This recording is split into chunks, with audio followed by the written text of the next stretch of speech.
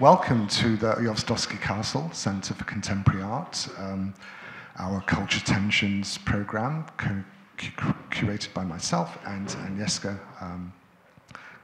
Um, uh, so this is a very um, pertinent um, discussion. We know what's going on, it's on the news all the time.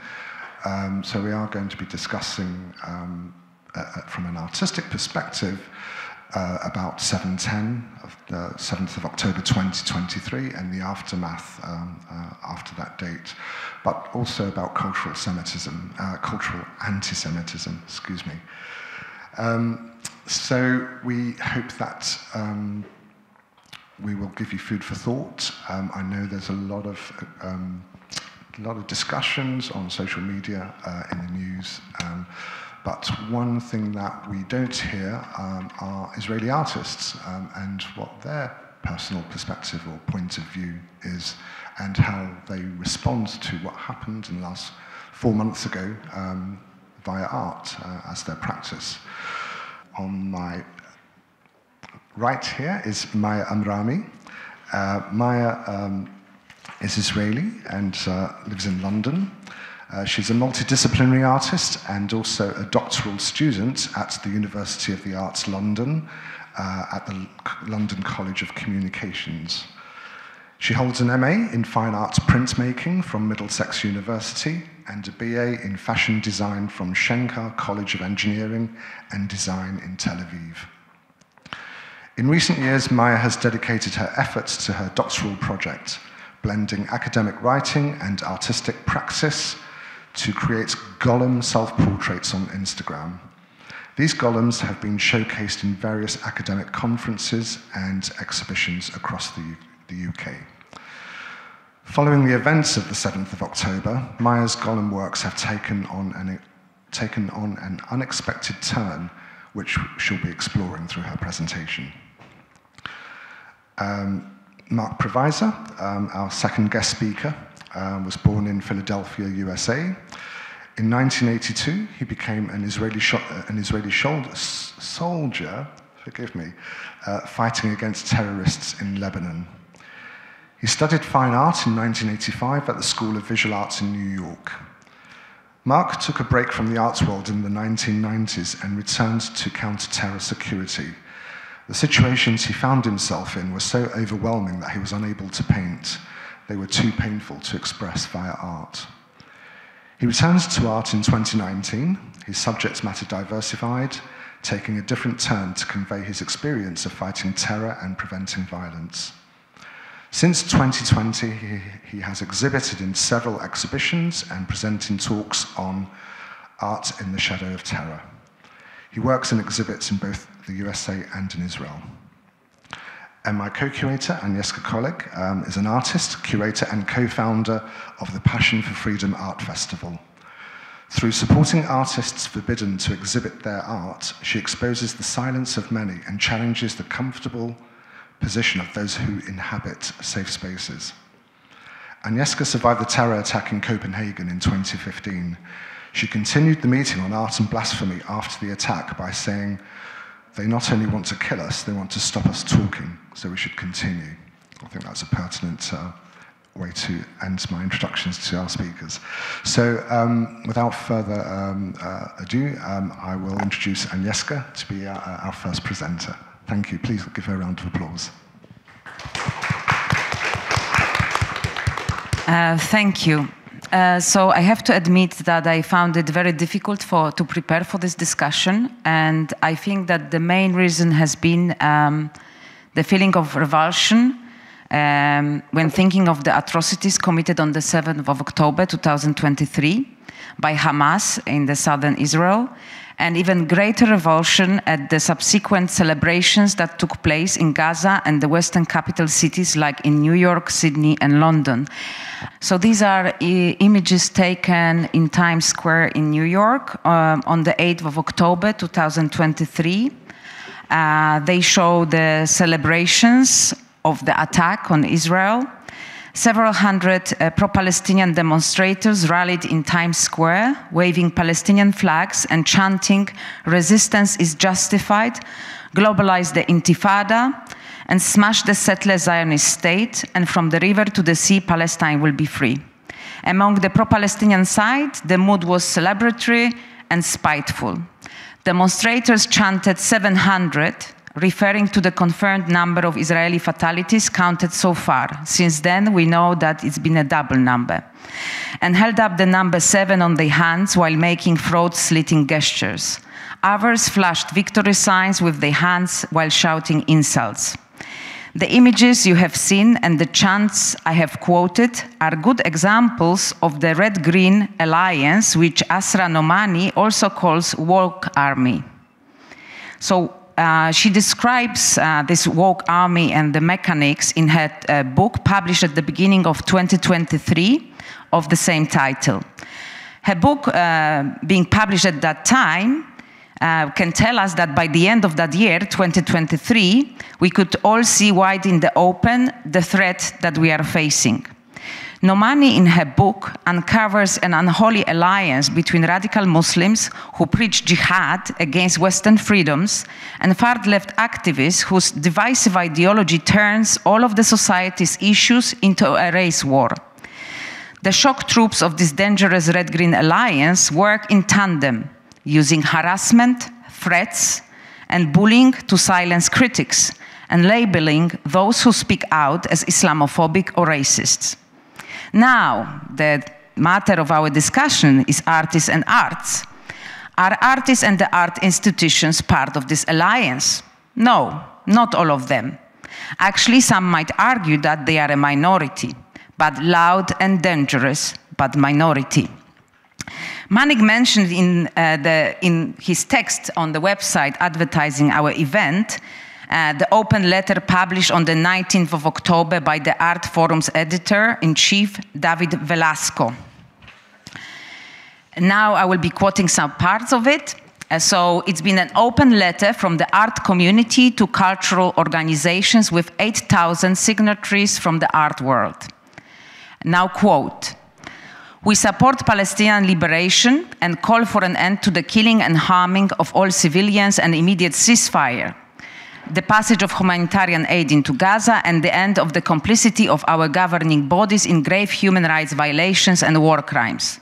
We demand that the institutional silence around the ongoing humanitarian crisis that 2.3 million Palestinians are facing in the occupied and besieged Gaza Strip be broken immediately. And the letter goes on. It continues in similar fashion with no mention of Hamas attack on the southern Israel on the 7th of October. No mention of the torture of the victims. No mention of the bestial murders, the rapes, the victims burned beyond recognition. Not a word about the kidnapped hostages, men, women, and children.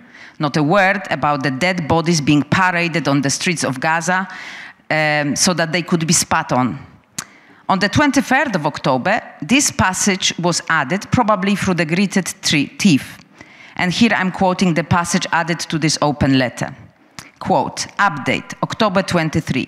While we cannot uh, recirculate the petition to all 8,000 signatories, we, the group that authored the petition, as well as a number of the signatories uh, who have reached out in recent days, would like to repeat that we reject violence against all civilians regardless of, regardless of identity and share revulsion at the horrific massacres of 1,400 people in Israel conducted by Hamas on October 7th. We mourn all civilian casualties. We hope for the expeditious release of all hostages and continue to call for an immediate ceasefire. Now, why does it not seem genuine to me? When in November 2017, Velasco became the editor in chief of Artforum, a new era of Artforum emerged under his leadership. In his first issue, Velasco wrote a statement quote, The art world is misogynist. Art history is misogynist, also racist, classist, transphobic, ableist, homophobic. I will not accept this. Intersectional feminism is an ethics near and dear to so many of our staff, our writers too. This is where we stand. There is so much to be done. Now we get to work. End of quote. Now, this is the first warning sign that can explain why the atrocities committed by Hamas were not mentioned in the original letter and were only included later, either due to external pressure or due to the uneasiness that it does not look good in the light of images and witness and first responders' accounts coming out after the 7th of October. Some of our guests in the audience might not be familiar with intersectional feminism. To explain it in the simplest manner possible, um, intersectional feminism draws on far left ideologies. It started as a sociological theory describing multiple threats of discrimination when identities overlap with a number of minority classes, such as race, gender, age, ethnicity, and the like. This theory been developed by Kimberlé Crenshaw in her 1989 essay and refined in 1991. It is in fact a minority ideological Marxist-Leninist view dominated by people from an economically privileged class who have had a university education in the social sciences or the necessary leisure time and education to study intersectionality, critical race theory, queer theory, and critical analysis of ableism. What does it have to do with Israel and Palestine, and why it should matter? Over the years, it has metastasized into almost every corner of the non scientific academic world. Without trying to find out peaceful, satisfactory solutions, intersectionality has migrated from feminism into a deep revulsion and hatred against white, male, and especially Jew Jewish Christian traditions with the aim to destroy Western society. The theory of intersectionality is dogmatic orthodoxy that has nothing to do with reality, rather, it has all the negative hallmarks of fundamentalist religion. On the surface, it might look like an extreme version of political correctness. Deep down, it is much more dangerous and dark. Instead of including, it excludes. Those of different opinions from the dogma are derided, ridiculed, threatened, and excluded with the help of an online mob that gathering momentum gets to the point of cancellation of those that they disagree with.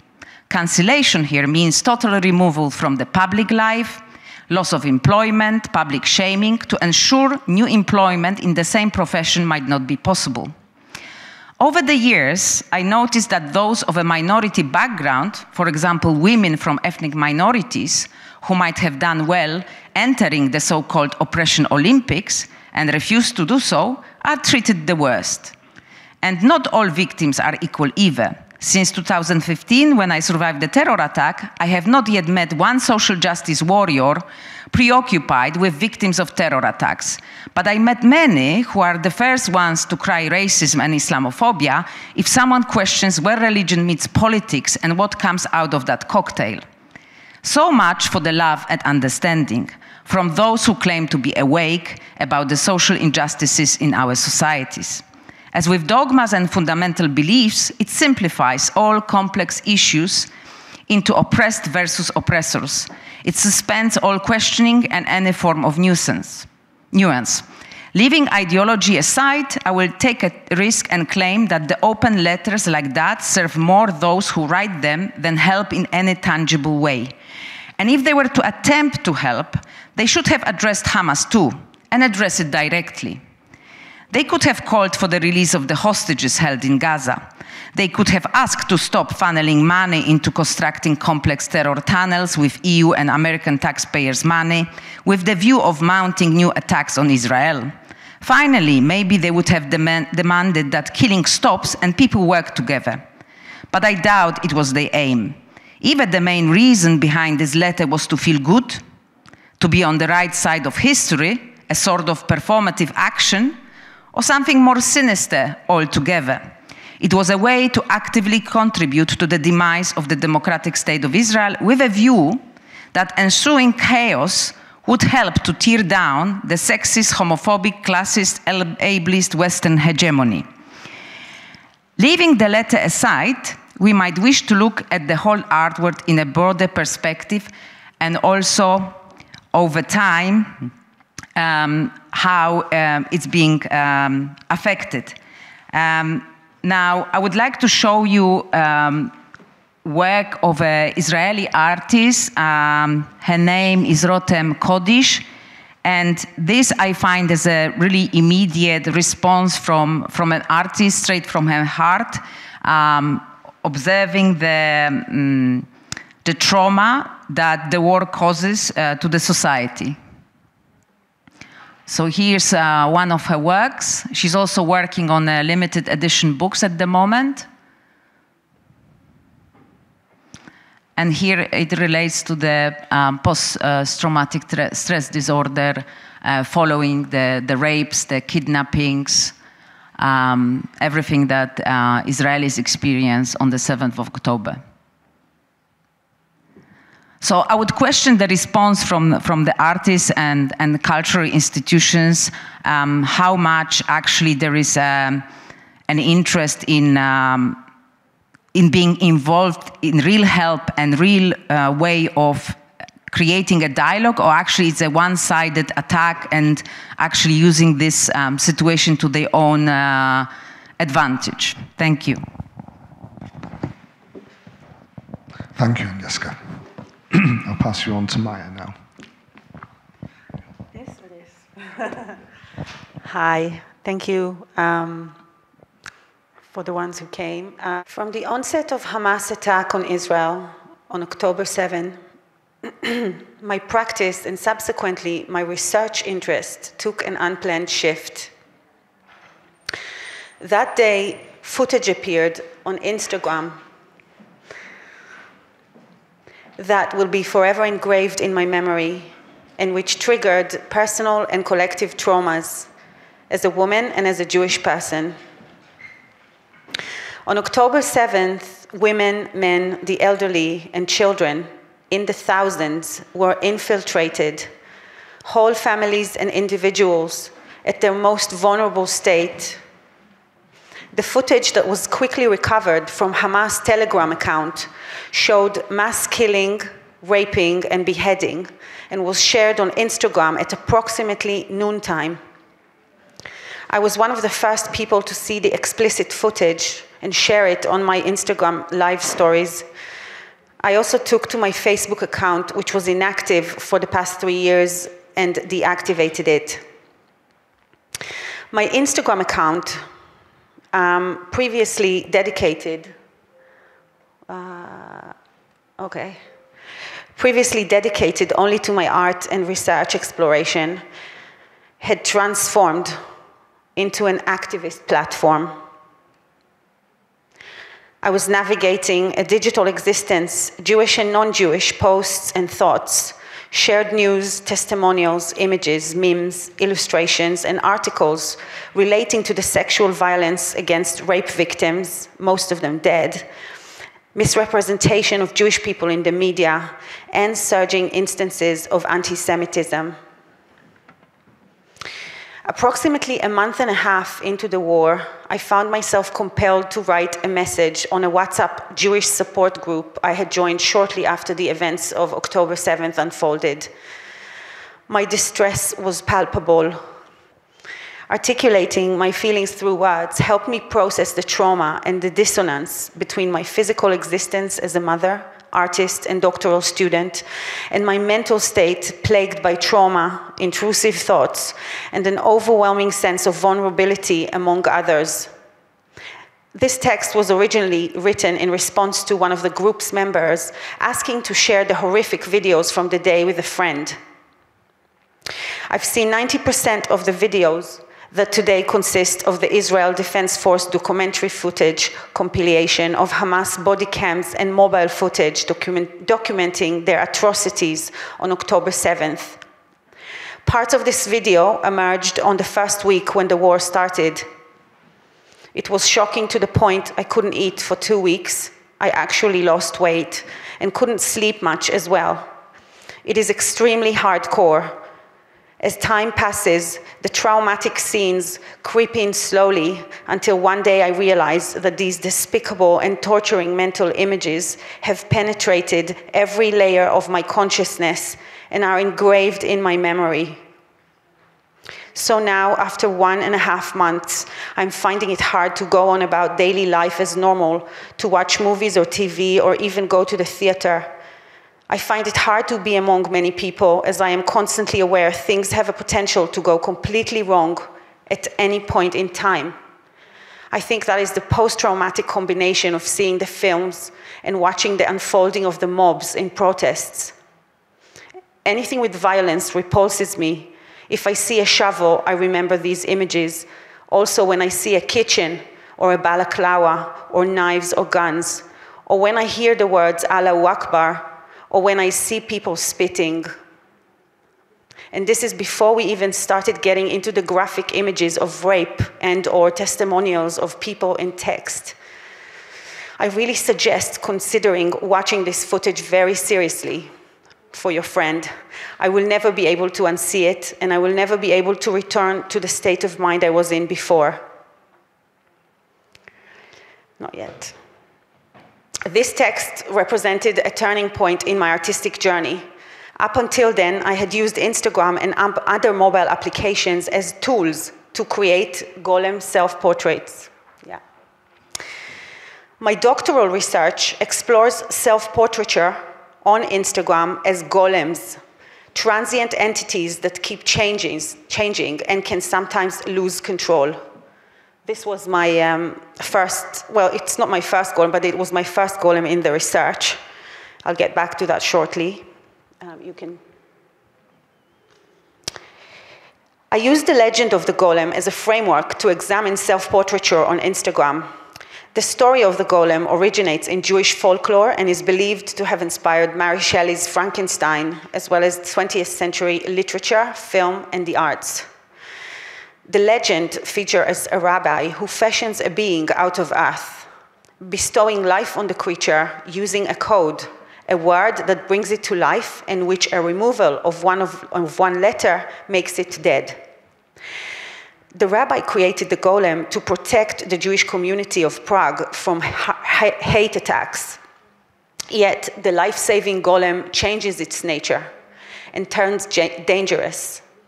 Worse than that, it rises against the rabbi, its creator.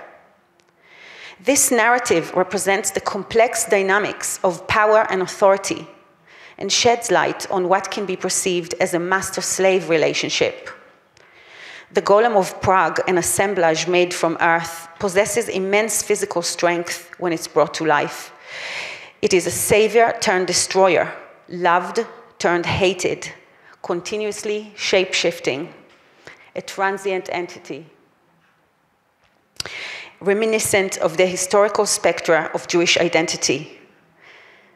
The narrative of the story as a creative and symbolic text is entangled with the broader historical context of Jewish persecution and demonization of Jewish people and other minorities existing on the fringes of societal norms, much like individuals who are othered, different, marginalized. Within the golem story lies a poignant reflection of its Jewish identity. Yet, unlike its unfortunate fate entrenched in unprovoked conflict, in my work, the golem emerges as a powerful and generative framework for my own research, one that illuminates the intricate interplay of power dynamics, creativity, and identity.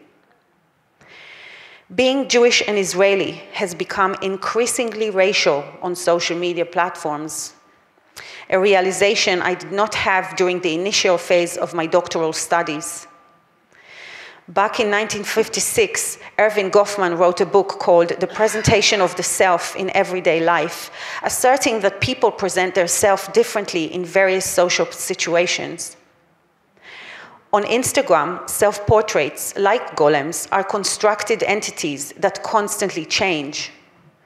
These golems, self portraits, are presented to the community through a collaboration of humans and codes, creativity and transformation technologies, and communicate with each other, human and bots, through images and text. As my practice always led my research, I embarked on this journey by creating the first textile golem. That was back in February 2019. You can keep scrolling. The golem named Golemka Gigi Frankenstein was composed of an assemblage of selfies, prints, fabrics, paint, and thread, a collage brought to digital life through her Instagram profile. Yeah, you can go another one. That's it. In the physical world, where I took photographs for her Instagram profile, she was operated by a body dancer, exhibited to the world in conferences and exhibitions, and shared on a dedicated Instagram profile called Golemka Gigi Frankenstein. This experimental endeavor allowed me to explore the complexities of my own identity, identity and, in retrospect, gain insights into what it means to be an Israeli and a Jew in the context of Instagram today, a space I now realize is imbued with political overtones.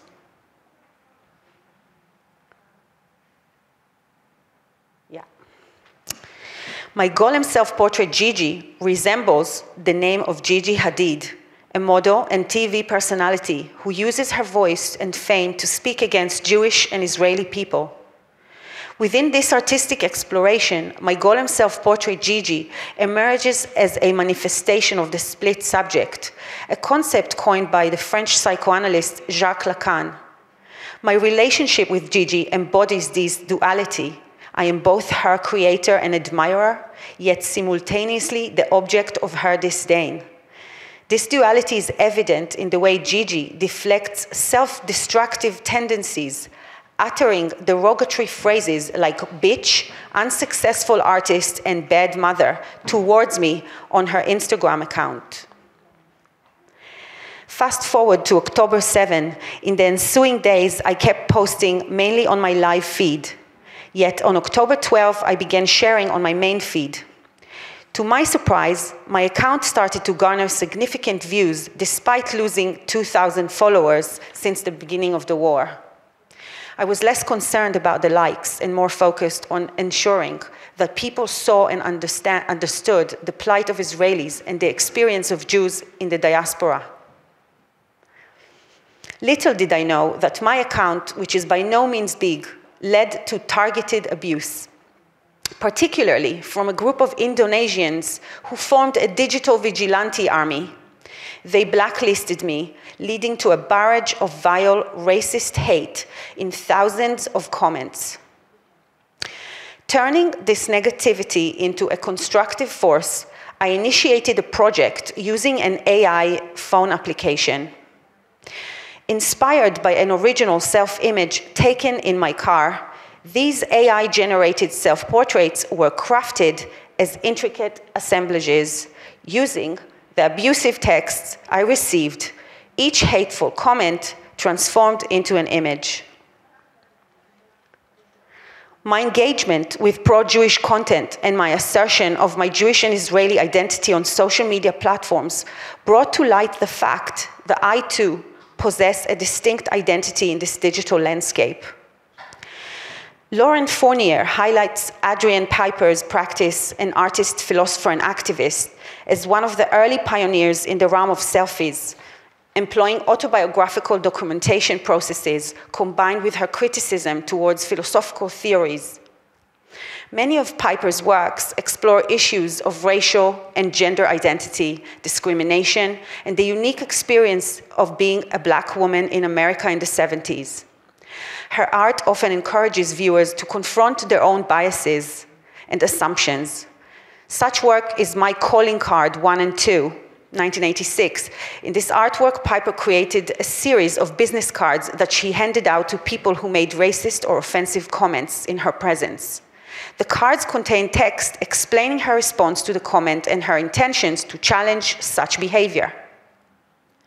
Much like Adrian Piper's confrontational response to offensive comments, my AI-generated self-portraits serve as a bold statement to those who harbor hostility towards my race the work, Bitch from Hell, represents a circle. I was called a bitch when my golem Gigi started with me, communicating with me. Later, I was called a bitch by the Indonesian vigilante army. And now, in this portrait, I am finally materialized as one. Jane Bennett, a philosopher and political theorist, introduces the concept of assemblage, envisioning a world composed of dynamic networks connecting various elements, whether human or non-human. These networks come together to shape complex, ever-changing wholes, and their interactions give rise to emergent effects. In this context, Bennett's assemblage concept is embodied through my own Golem AI generated self portraits vibrant, living entities where words saturated with negativity and hate become potent forces shaping, shaping each artwork. The AI, in its interpretation of these comments, generated arresting yet unsettling self portraits, where the images created are explicitly linked to the abusive language used in the comments. My intention is to further engage with these works by printing them out on fabric and making these into three dimensional soft sculptures. According to the golem story, the code employed by the rabbi to animate the golem is the Hebrew word emet, truth, inscribed upon its forehead. By removing a single letter and shortening the word to met, meaning death in Hebrew, the golem is rendered dead. The narrative of the Golem story serves as a powerful reminder of the transformative potency of codes or words within a linguistic structure. It highlights their ability to bestow life or extinguish it, fundamentally altering the state of being from inanimate to animate. Edgar Gomez Cruz and Helen Thornham, both digital anthropologists, assert that in the realm of Instagram, algorithms assume the role of codes and language, embodying the tangible manifestations of power relations, negotiations, and design, emerging from the interplay between human inter interactions and technology. They shape and govern the dynamics of the platform, exerting influence over the visibility and dissemination of content in my latest project, hateful comments are transformed into visual representations through AI, illustrating how words and language can be harnessed to create something new and meaningful. Much like the golem story, where the alteration of a single letter in a word changes the state of being from inanimate to animate. My project modifies the meaning and impact of hateful words, turning them into a different form of expression. The French philosopher Gilles Deleuze wrote about Francis Bacon, and I quote, It is a mistake to think that the painter works on a white surface. He does not paint in order to reproduce on the canvas an object functioning as a model. He paints on images that are already there. Whether expressed through painting or another medium, the canvas, surface, or digital space is never blank and is always infused with pre existing images or ideas. These images, whether tangible or virtual, are inherent to the canvas, forming a complex web of visual stimuli that predates my artistic intervention. In Hebrew, the word golem, rooted in the word gelem, refers to raw material. Gelem material encompasses any minor or basic material that generates objects or ideas. It can encompass natural or synthetic material, whether real or metaphorical. My AI generated Golem self portrait making is an experience that exists prior to execution. The Golem materials are already there, information unraveling alongside my internal and external realities, shaped by myself and others, and others' perceptions of me. Writing about Francis Bacon's work, Deleuze discusses the idea that art, whether it's painting, music, or any other form, is not merely about reproducing existing forms or inventing new ones. Instead, it revolves around capturing forces that aren't inherently visible. Paul Klee's statement, not to render the visible, but to render visible, underscores this concept. The goal is to make these invisible forces perceptible through art the relationship between my own physical body as the initial image given to AI, the hate text representing how others perceive me, and the AI as a type of consciousness da database that extracts certain images embodies an exploration of art and identity in the digital age that is making invisible forces visible through artworks. My body, as the starting point, represents my physical self and identity when combined with hate texts that reflect others' perceptions, it becomes a complex interplay between self identity and external judgments. These texts are not just words, they carry the weight of societal bias, discrimination, and prejudice. To borrow from Judith Butler, one is not born, but rather becomes a woman. Similarly, one is not born, but rather becomes Jewish or Israeli.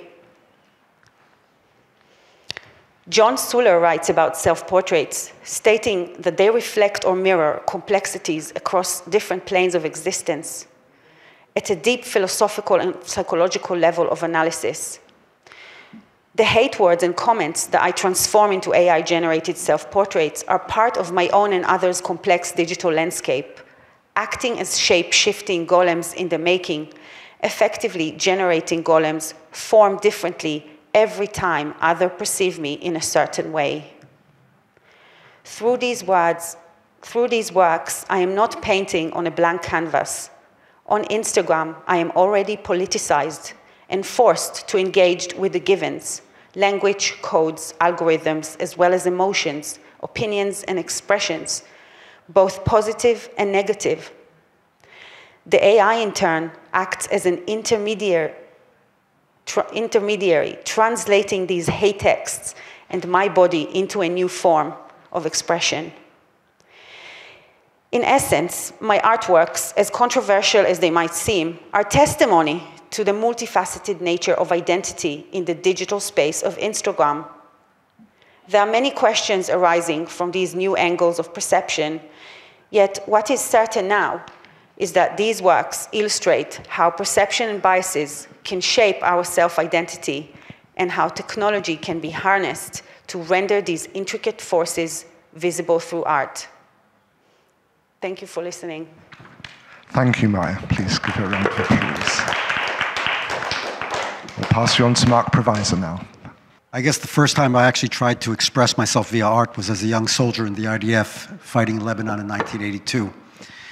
It seemed the only way that I could express the chaos of war that I'd been experiencing. And that starts my path becoming an artist. We fast forward a number of years. My paintings became focused on many subjects. I fell in love with colors, flowers, landscapes, and so I continued to express myself through my art. Moved to New York City after my service for a few years, and I started studying at the School of Visual Arts and studied under various teachers. I returned to Israel at the onset of the Iraqi war. I continued to paint and eventually found myself working in the security world focusing on prevention of terror. I have always hated violence.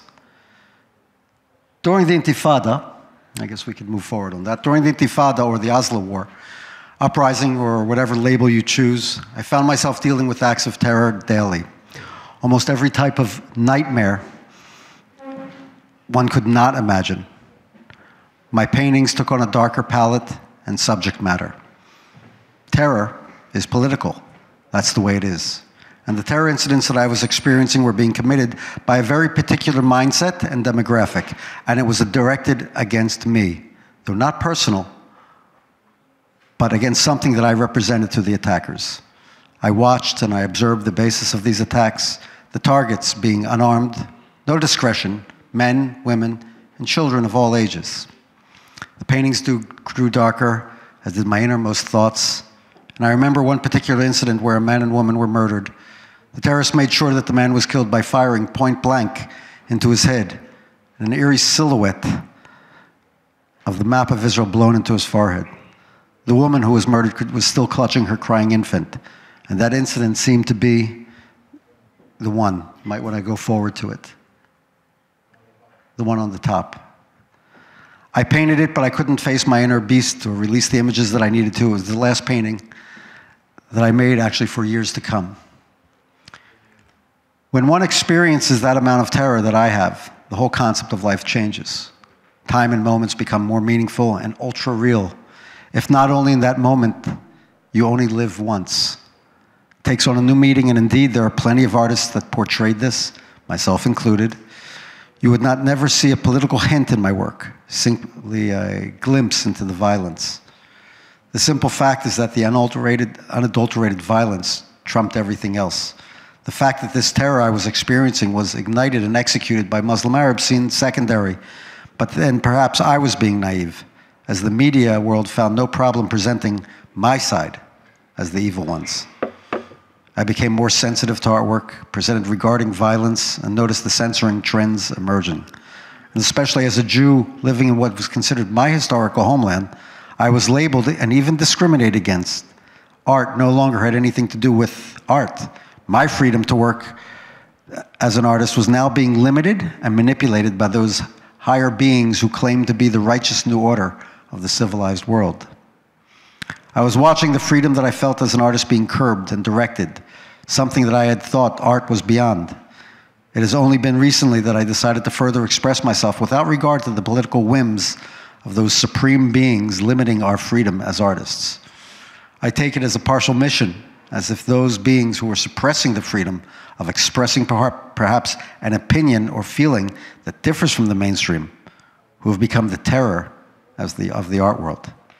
And as someone who has been actively involved in saving lives, all lives, and actively involved in preventing terror, it is a time that artists should be able to express that terror, the faces behind it, no matter whose faces belong to, without the fear of e being either targeted, boycotted, or shunned.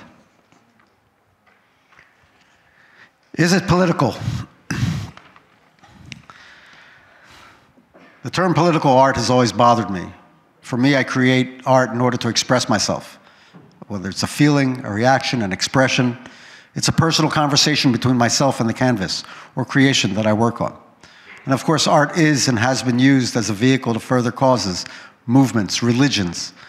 It's a vehicle that transcends the standard world. It has the power to reach deep inside one's soul, one's intellect. It is precisely for this reason that art has been used as a tool. Wikipedia likes to quote that a strong relationship between the arts and politics, particularly between various kinds of art and power, occurs across historical epochs and cultures. And as they respond, respond to the count, contemporaneous events in politics, the arts take on political as well as social dimensions, becoming themselves a focus of controversy and even a force of political as well as social change. Many of my works in the category of art and terror simply reflect the reality in which I live, in which I work because I live in what many consider a contested area and have chosen a position which differs from others considered progressive or mainstream, or a number of other labels. Some of my works may be considered political, and not in a good way, according to the reigning powers that be. The term political reflects on politics, and yes, there are many works of art that address politics, politicians, particular movements. My art does neither. I address a situation, a reality, the situation slash reality may be one of the results of politics, politicians, or policies, but I do not paint that. We all live in the shadow of politics unless we find ourselves on a deserted island in the midst of Eden. And when I express myself in the shadow of terror, I'm showing what I see, what I feel. Yes, I'm showing my side. And why shouldn't I? Shouldn't I be free to do so? Isn't that what freedom of expression is about? The fact that the terror I experience is perpetrated by particular individuals belonging to a particular religion or movement, and that I present that I should make my work taboo in the progressive mainstream? I've heard that terror, the terror that I'm talking about, is a result of my side. And I can respect that opinion, and I do. And I'm willing to engage in that conversation and have. I've sat with those that are considered terrorists or freedom fighters, whichever label you choose. We've acknowledged and respected our differences, our points of views, while passing each other cups of coffee our weapons resting on the ground at our sides. We've engaged in conversation, the real one, not the conversation mutated by the spectators of the arena. We've engaged the abstract. And if that particular genre art of mine is deemed political, so be it. If it is not accepted by the mainstream, so be it. But the opportunity to show it is a true effort of that freedom of expression, for which I am grateful.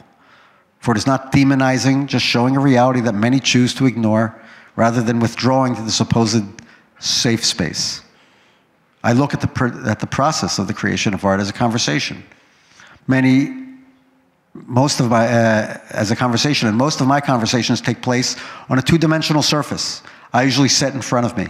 Colors, paints, brushes take the place of words in the dialogue and starts and continues in an attempt to draw a conclusion, to arrive at an agreement, to attain a truth. I try to give the viewer a glimpse through my unique lens to envision what I see and experience and how I feel about the living beauty, the chaos, the passion, fragility, and the inherent strength of a people and land.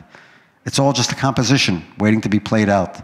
And I try to look for the positive and negative spaces of the situation, the light and the dark, the form or lack of, and the heated and chilled sides of the challenges that are set before me.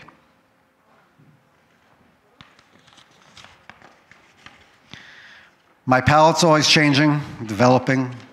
It's adapting to the canvas or the conversation that I set before myself. My medium is never set in stone, adjusting itself to this vision. It needs to achieve this goal. I take pleasure in experimenting with mediums and seeking out new adventures. My mentor once asked me to describe a painting of mine. I started explaining, describing, discussing, and he became upset with me. And he said, Are you a philosopher or a painter? Use three words or less to describe your work. I love color, I love form, I love paint. That's the way I speak from the inside. A poem I once read by Mary Kate James. The artist, time stands still, lost in the moment of experience, feeling it in his mind, his body, a prayer of rhythm and grace. Hands performs, touching, stroking, following like a dancer to the music in his mind. He lives it, this meditation, this vision, breathing light, color. He is at one in creation. And we live in a wonderful, crazy, insane world filled with beauty and chaos, love and angst, passion and terror, and so much more. Art is my inner truth. It's the way I connect the dots, and I do it because I have to. I need to, and I love it. October 7th, everything changes. I start receiving notices about 6:30 a.m. about a rocket attack down south, and my first reaction is to call my oldest son, who I know is at, was at some party down south, the Nova Party. And the call goes like this Where are you? Don't worry, Abba. We took cover. We've been through rocket attacks before. My son, Abba, I'm hearing shots. Are you armed? No. I see guys coming out, of, out, of, out at us, coming at us from the trees. I said, Get out of there. Get to Re'im or Alumim. My son responded, I've got to move. I'll call you back soon. And then the cell service stops, and I can't get him back on the phone. My heart drops. I get my gear and start heading towards the south. After a while, I hear back from him that he's out of the zone. He didn't listen to me, thank God. Those communities were attacked. He managed to drive out through the fields, and because he took first, first took cover, he didn't drive into the ambush that the terrorists set up on the road. My son survived. My son survived and time stopped for the next few months. I was set to open a new studio in New York City October 11th and to delve fully into my art, reoccurring dream that I was about to manifest. But this date and the Jewish holiday which occurred that day will always remain in my soul as a blackness, a present day witness to the atrocities and horrors that subhumans are capable of. Indeed, it goes even further for me, as it is deeply personal. My oldest son was there. I cannot be grateful enough for that he managed to escape, and I can't help but to think, had it been otherwise, otherwise, I can't find the words or the images of that sheer terror. In terrorist mind or view, we're all just faceless targets. We have no families, no feelings, we're not human. There's no value in life. And in order to fight this monster, to actually defeat this evil, we're often forced to compromise our own value system a concept that most who do not actually have to engage in combat understand, nor will they ever. Terrorism is sheer and pure violence, the ultimate evil. And it was a day that forced me to return to another life, in fact, a few other lives. And in part of these other lives, I went down to the Hara to assist the security forces where I could, bringing needed equipment and continued to stop the terrorists in the area. The actual visuals seared into my mind the sounds, the stench, bodies, blood, and ashes, and the cold rage rising in me to levels that I've never known, turning stone cold, professional, and wanting only one thing. Eventually, I returned to my studio, hoping to release some of the horror, but to no avail. I could not portray my feelings nor express them at this point. I was able to produce two works recently that reflect part of what I felt contemporary works that touch on centuries, actually, of Jewish experiences anti art, anti Israel art after October 7th. I can't say that I was surprised by the reaction of the so called artists, the supposed progressive, and those that identify with the political left, who almost immediately join from their elitist and self centered worlds where their manipulated, limited views prove their bias ever so strongly. They have ignored almost every other tragedy, not only in the world, but in their own backyards. Chose ever so aggressively to attack not only the Jewish state uh, and those that support Israel, but further adopted to support a society that is diametrically opposed to every value they have. Theirs is a fight against the same society that granted and grants them the freedom to create. Anything they deem Western is a target. In fact, if the situation was opposite, they would side with the Palestinians as they would attempt to wipe out the Jewish people. Prove it, you say? Did they side with the Palestinians as they were massacred by the Syrians? Did they stand with the Yemeni people who were massacred by the Houthis? Did they stand with the non Muslim Sudanese as they were massacred by Muslims? And so many more examples, not a peep. Now, if that isn't bullshit straight out of directed hatred, I don't know what is. What fuels them is hatred, and now they love using that hatred against the only society where they could flourish in the Middle East, and that happens to be the Jewish state of Israel. Israeli artists who attempted to voice and present their own expressions through art were quickly targeted. God help the gallery outside of Israel that would attempt to show this work or hold a constructive discussion. Still, there are decent humans that can see through these artists' manipulated hatred and it acted to keep the hatred out, only to be accused of canceling or supporting genocide. It's almost as now a war of art exists. And like in a war, there will be no true victory except for those who finance the venture. The next phase, the story continues. I've never been able to stand on the side while people are being hurt, any people.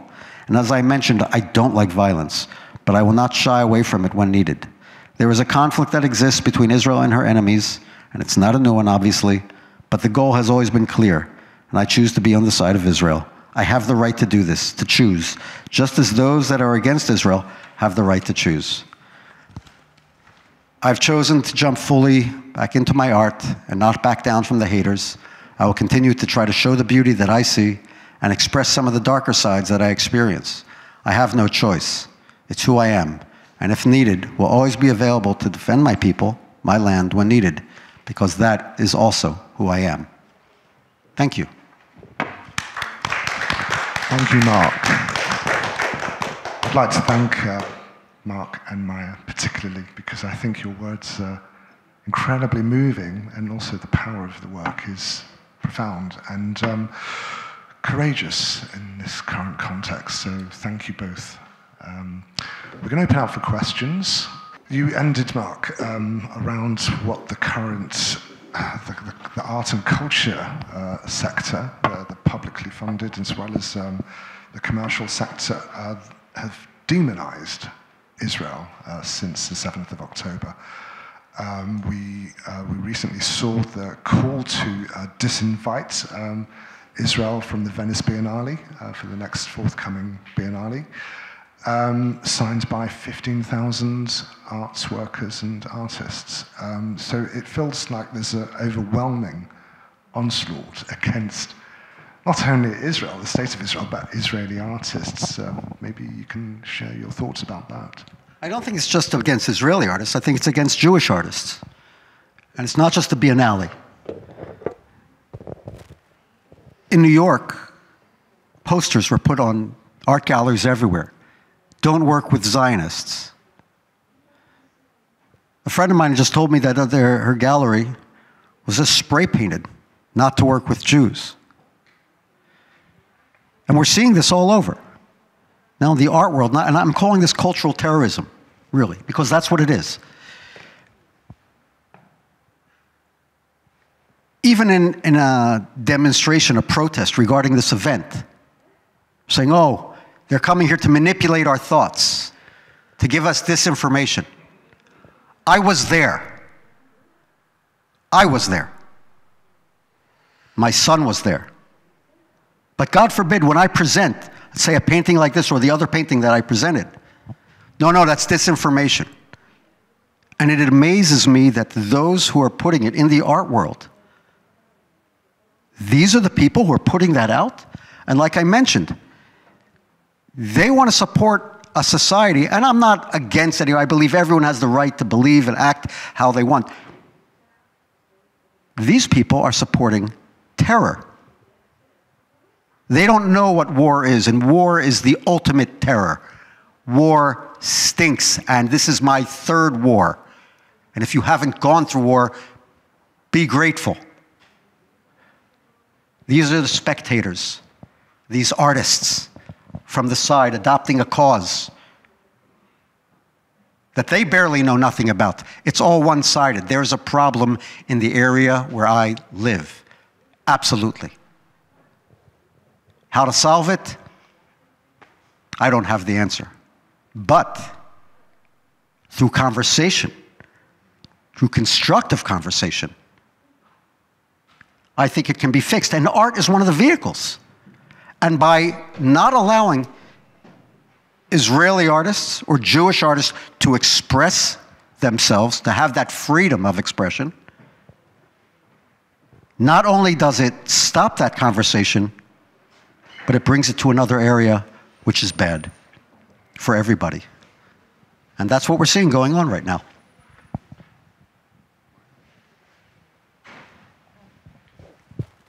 No, it's fine, it's fine. Uh, I actually was thinking about something else, uh, Marc, when you were speaking about the posters in New York. I'm not sure if the audience in Poland is aware of how the posters of kidnapped uh, people, also including children, were ripped, scratched out from wherever they were put around the world in support for the release of hostages. And I found it deeply disturbing because you can have different opinions, um, approaches, but if you are against releasing hostages, saving life, then I think that tells me all. There's nothing to add to that. I, I want to take the opportunity actually and thank you really um, for being the first pioneers you know, of um, in, in the arts world as I see it today that allow for this kind of discussion to, you know, to happen. And um, it, I think in, from a historical point of view, you know, in 10 years' time, um, you're going to look at yourselves and, um, you know, you're going to be one of these that started to change the, cur the current because, because it's important what we're doing now. And obviously, anti Semitism have been lurking in the shadows, perhaps. But it's now all in the open, completely out. And it is unapologetically devastating for Jewish artists whether they're Israelis or not. And um, you are doing something really important, Agnieszka and Manick. And um, thank you for bringing it here. thank you. Um, I have to say, and I always boast about this at every culture tensions, that these kinds of discussions will never happen in the United Kingdom um, in a publicly funded institution. Um, we believe in freedom of expression. We believe in the right for civil disagreement uh, and conversation, as Marc said. Um, and uh, you know, if there was someone here who disagrees with what we're saying, uh, we would be happy to hear that um, and um, invite uh, you know, a discussion. Um, that's what um, art is about. It's, uh, it is about opening, provoking, um, um, thoughts and expression. That's my personal thing. But thank you so much, Maya, for your lovely words. Um, any other questions or thoughts from the public? Yes. Sorry, just so you first, and then you next. You can speak in Polish or. Uh, I can speak in English. I just wanted to express my gratitude because when I read about this um, discussion, I was so surprised because I was thinking like in, in Warsaw, in Poland, uh, it's impossible. So it's, it's great to be here. It's really moving. And personally for me, being here in Poland, seeing that there is opportunity to see the different point of view, different that than this, which is created in media. It's it's great. Thank you very much for this. Thank you. I think I'm good without the mic. So, uh, but it's for the record as well, because there's going to be a video after. Hi. So, uh, thank you for your time. Um, my first thought would be um, regarding what I'm sorry, I don't know your name. What you just said that. Uh, everyone who is maybe even against what you just presented is very welcome here because that's what art is about. So my reflection is that if those who are against uh, this, whatever you name it, art perspective, would contribute their time to come to such meeting instead of absorbing just titles on social media, they wouldn't be against anymore. Because one of the reasons is probably lack of knowledge. And um, I wonder if, uh, if art is already dividing people as well, like you just expressed. What can be the common thing, word, idea, reflection that can merge people again? Of course, business is.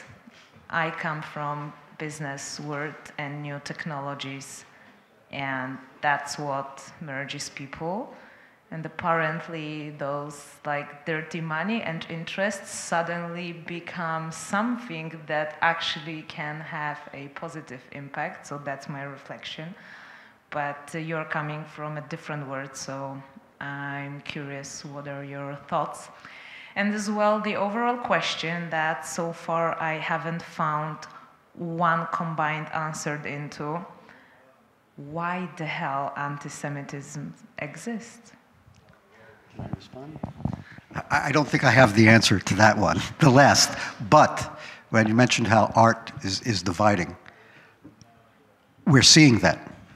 In fact, we were seeing areas where all of a sudden, if there was, on both sides, on both sides, and it's very important to mention that, the conversation is being stopped on both sides, whether it be a uh, Palestinian artist or pro anti-Israel, where they're making bad remarks against Israel, all of a sudden they're being claimed that they're being canceled, and also with Jewish and Israeli or pro-Israeli artists. The opinions of both are being stopped. Now, in the art world, if you watch, and especially, you know, and, and I was listening to, to, to when I wasn't as aware as, as AI art as until, really until speaking with, with Maya and everyone's trying to portray the art as who is the bigger victim. You think? Now, in war, being totally objective now, in war, the visuals are mind blowing. And of course, you can produce this. So you were having all these different who, who's getting more exposure. And the simple fact is that a lot of the world chose to a lot of, like I was calling them, the, the, the progressive elites, and I'm saying that cynically, of course. That's the art that they're trying to push more. And the, the controversy, again, is not showing our side. And God forbid to show a strong side. I come from a different mindset, and it causes controversy. I'm an outlaw in the art world, in a sense. because I defend. I'm not being political, but when I've portrayed pictures of that, it causes problems.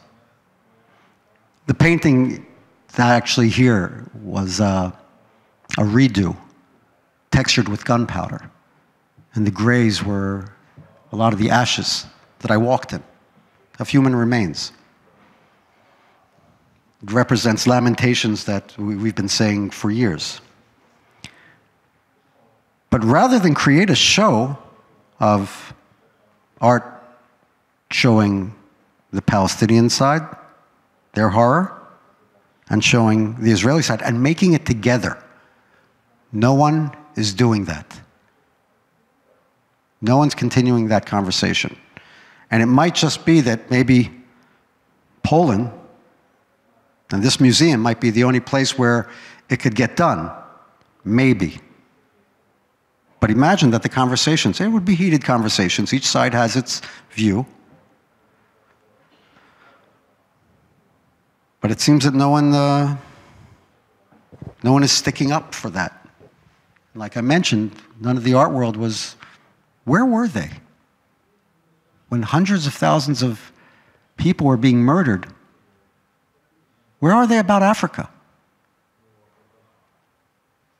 Where are they about Syria?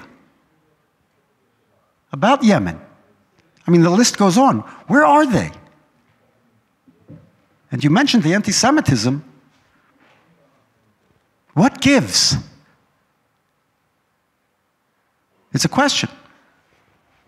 I created works calling them the arena because they're just spectators. I don't know the answer about the anti Semitism. Age old.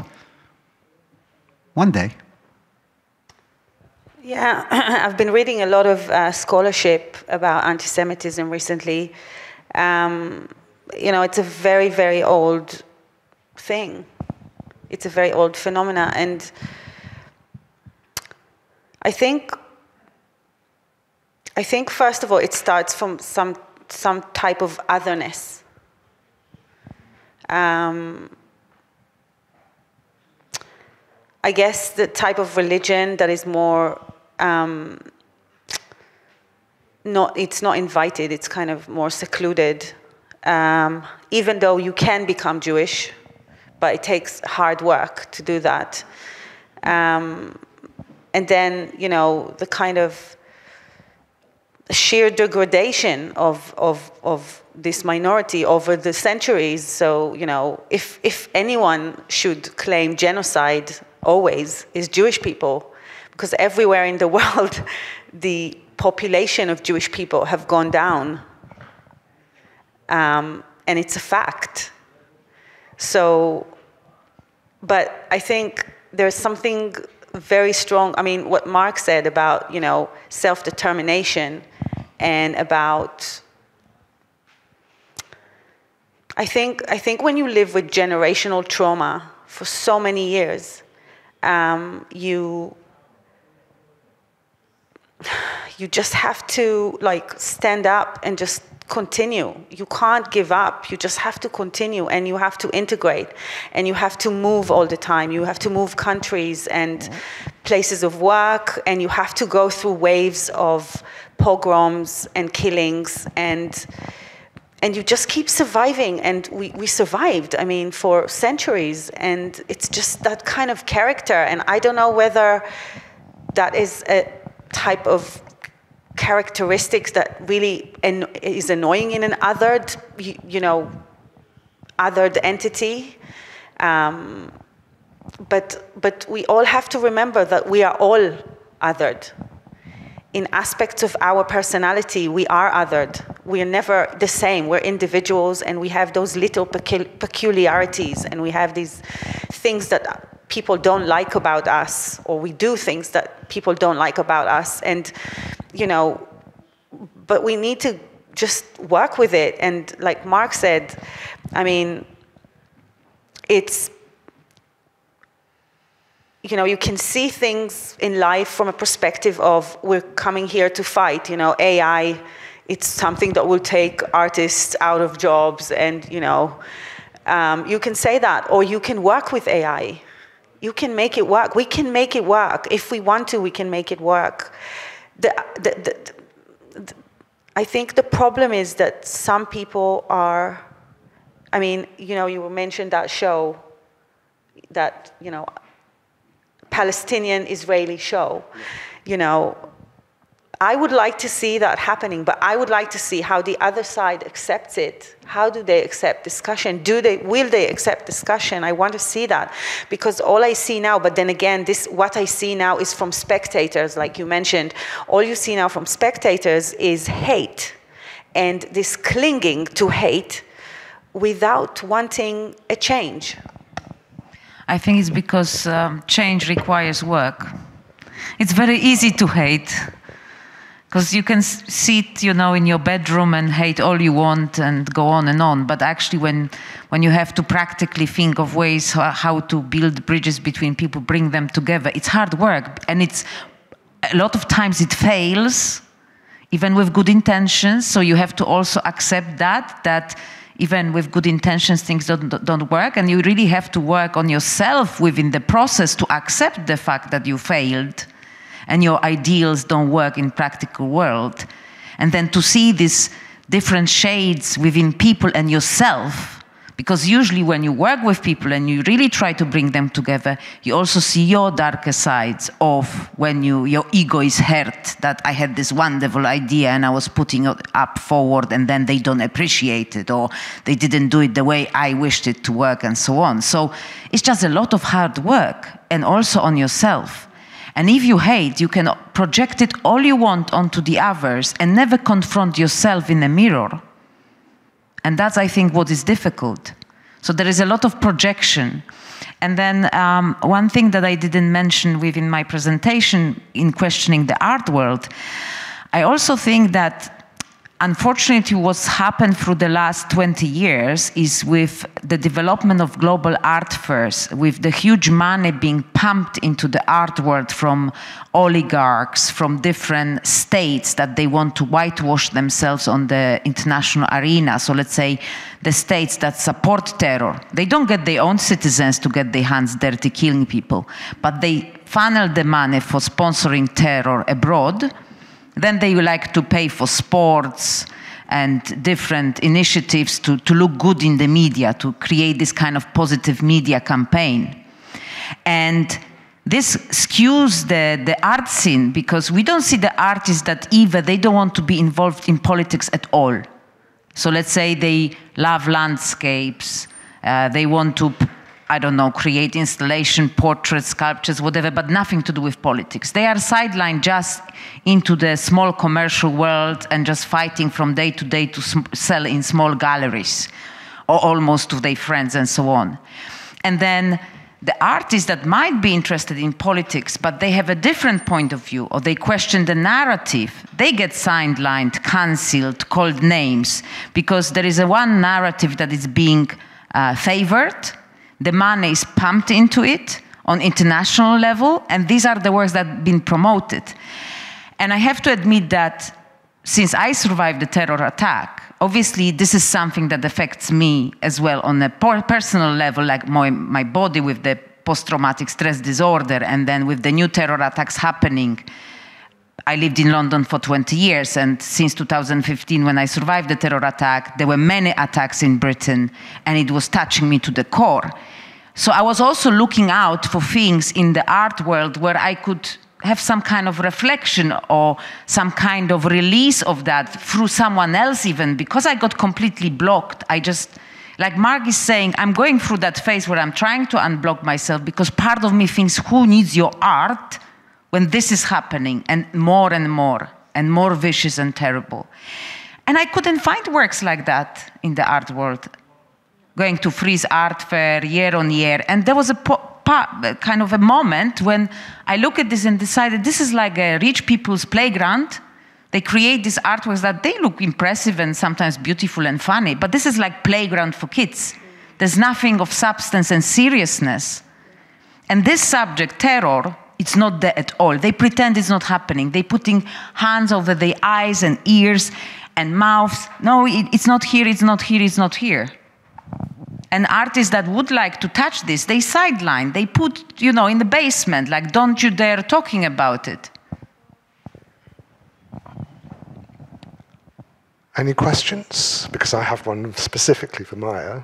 If uh, I, um, we had a discussion um, last year on art and artificial intelligence, and um, it's really fascinating to see how you have used the venomous online hate that you have received on social media, and I witnessed um, some of that um, that you spoke about. So rather than playing the victim, you actually turn it around. I'd like to hear how you did that. I, I, have to say, the day that I woke up to 3,800 comments on one of my um, Instagram posts, I mean, I, the first thought I had was like, oh my God, what's going on? Um, is, are my children in an unsafe um, environment? You know, am I putting them in danger? Is anyone going to come in now to my house? Is anyone, you know, and growing up in Israel, going through the Intifada, going through the uh, Gulf War, um, you know, everything is possible, you know. And after October 7th, this has become a reality that you understand that anything is possible. Um, and I, you know, it's the, the first thing I thought actually when I saw the 3,800 comments was that great, they've given visibility to the post about UN women sidelining Israeli women and men that got raped during October 7th. Um, and I had three posts like that, and these were the posts that got the most vile comments from these Indonesians. Um, of course, that, w- that wasn't the only one. And yes, I had a terrible day that day, and I was also very sick. And my son got stuck. I couldn't hold, get hold of him, and he's, he studies in a Jewish school. And I freaked out, and I started crying in bed, and I was hysterical, and I was, started calling the school, and I called the police, I called, you know, friends that have children in that school.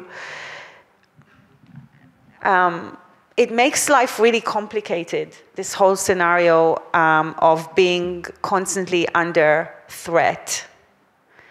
And on top of being constantly under threat, being undermined, not discussed.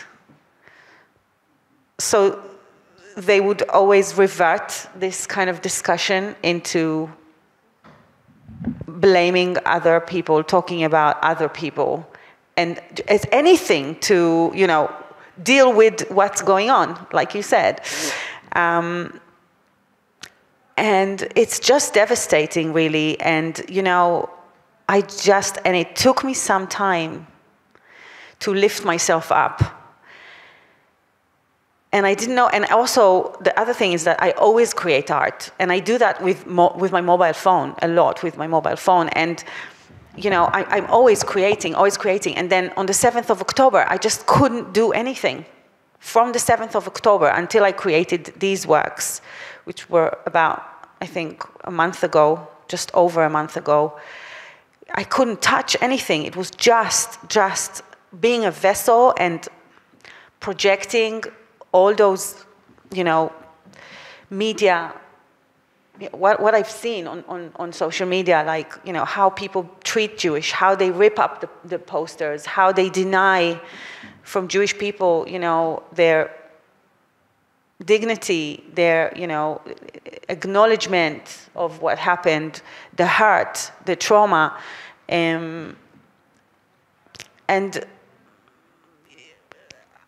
I'm happy that I have encountered the AI, um, you know, before October 7th. I started working with the AI, but it didn't have a substance.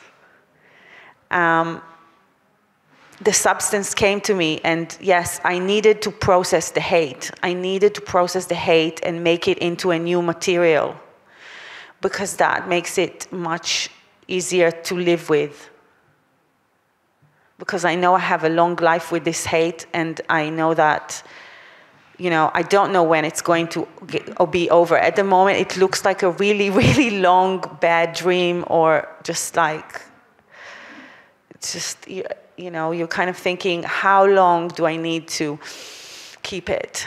You know, and I know that as soon as it's going to start getting better, whenever that's going to be, a couple of years, um, I hope before, but I don't think, um, you know, we're all going to be in PTSD, like bad, badly. I don't know how Israelis are holding on.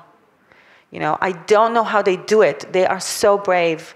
I cannot understand how they went through Corona. Okay, wars all the time since the seventh, the, the first year of, you know, concept, conception, and then, you know, war, war, war, and then more war, and then Corona, and then the 7th of October. You know, they couldn't, and then, you know, the whole thing with the government, so many protests, so many issues. I don't know how Israelis do that. They're the most, they're the strongest people that I know. Marc, really, you, you, you are. No choice.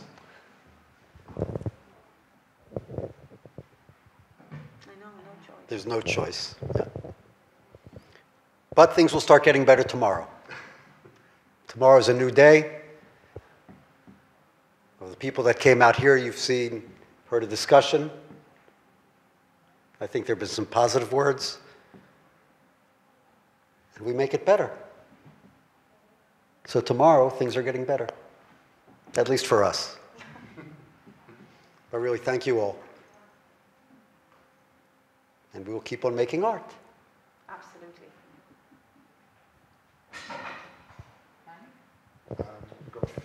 So some of the uh, public opinion, the positive towards Israel, is thanks to the differentiation between very violent protests pro whatever, Hamas or from the river or doesn't matter. And they are really very violent and aggressive and um, it's hard to claim that these are like defending uh, uh, protesters. Um, when we had in Warsaw actually very nice uh, gathering pro-Israel, it was the biggest march pro-Israel that ever happened. Still, of course, it was very small because maybe it's the number that I'm pointing everywhere. So maybe for the audience, uh, it will remain that uh, as well for you as artists and you might have some supporters in social media or coming to your exhibitions so there is 1 billion and 500 million muslims around the world and 15 million jewish people so if yes so if each of them of us let's say retweet a post it's easy to understand why people are surrounded by different information that they should be. Uh, but uh, my point is that the uh, uh protest pro-Israel, uh, supporting uh, Jewish, they are very calm and everyone is like arm to arm and we don't know each other but we smile to each other. And we know as you mark said that tomorrow will be a better day. It's very positive. I was wondering if maybe through art you see this powerful speech that you can bring that I understand in the first phase there is sadness yes. and hatred but then at the end you know i'm attending as well a lot of electronic music festivals similar like the one in Israel. And uh, their people as well are so positive that it's like we are, we are laughing that we are killing others with our smile, you know, and positive attitude and hope and belief that the world can be very nice and trustful place. So maybe as well through art, after some sadness uh, um, appeared, maybe the positive impact uh, can appear as well. It's, it's exactly on point what you just said. It's extremely important, actually, what you just said. First, the parties. The Israelis love these parties, and I know this from raising children. And they're always very positive and inclusive. It's not just Jews, Jews and Arabs are coming to these parties from all over the place. And the message is really peace and fixing the situation. In regards with some of the art that's been produced afterwards, you see pictures saying, We will dance again. This will bloom again. We're seeing that, that positive. The, the artists, the, the Israeli artists, people who are affected by this, they're saying we're going to rebuild. And they're focusing on that. Some of the images, like Agnieszka showed in the beginning, Israelis aren't dancing when hearing about death. They're not dancing and they're not happy about what's going on in Gaza. But of course, that, that doesn't get through to people. But it's absolutely showing itself in the art world. We are seeing people are trying to put out positive images.